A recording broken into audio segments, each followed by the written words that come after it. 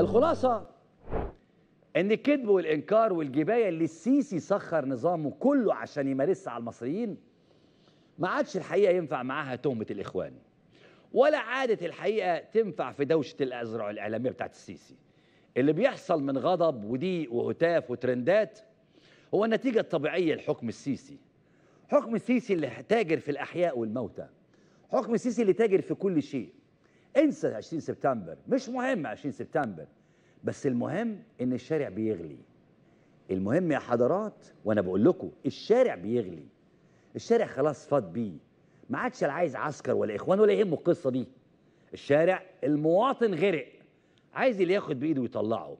المواطن حس زي ما قال الشاعر كده مسارح وسيمة والمواطن حس بالقصة دي مسارح وسيمه وسيرك وافيش وصورة المنيل وكاب الشاويش وكلب الحراسة وكرسي الرياسة وحبة سياسة وتربة حشيش. تذاكر يا هانم تذاكر يا بيه.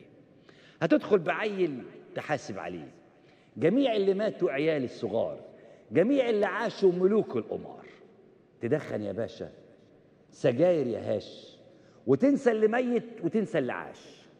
وتقلع هدومك وتلبس همومك وتاكل سمومك بكل انتعاش تكيد بهية وكشك السعادة ودمك يا حلوة يا سكر زيادة. وصرخة بناتك وشرخة بياتك شهادة وفاتك في حالة عبادة. عزيزي المواطن عزيزي الفقير أمالك في بكرة بتنقص كتير بتنقص كتير بتنقص بلادك أراضي وبيوت. بتنقص ولادك تابوت فوق تابوت حياتك يا فندي حياة ما تسويش. فيها إيه اللي يجري يجبر جنابك تعيش. ده بينك يا باشا وبين الحياة حواجز. وشيش خلف شيش خلف شيش. سيناريو العجايب عجيب العجاب. تموت البراءة وتحيا الكلاب.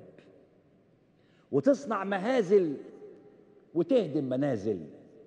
وتعمل عوازل ما بين الصحاب. أتار اللي ميت قتيل اللي غارم. وأتار البلد دي بتهوى الكلام وتهوى البنادق وتهوى الخنادق وتهوى اللي صادق في صورة عظام. تذاكر يا هانم. تذاكر يا بيه.